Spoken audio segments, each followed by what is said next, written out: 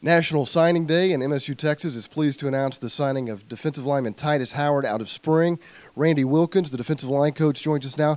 Tell us a little bit about Titus and why he's going to be such a good fit here at MSU Texas.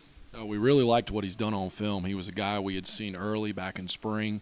He's six foot two, about 225 right now. He's going to keep filling out. He's a very agile player, good athlete, plays basketball also. Good quickness, uses his hands well, good with his hips, getting around on blocks, separating from blockers, and rushing the passer. Are there some intangibles that you like about him? Yes, a lot of things. He identifies blocking schemes, understands squeezing off the backside of zones, reads when pullers are coming, spilling up underneath it. In fact, he's made a few plays spilling up underneath the block and still tackling the ball carrier in the backfield.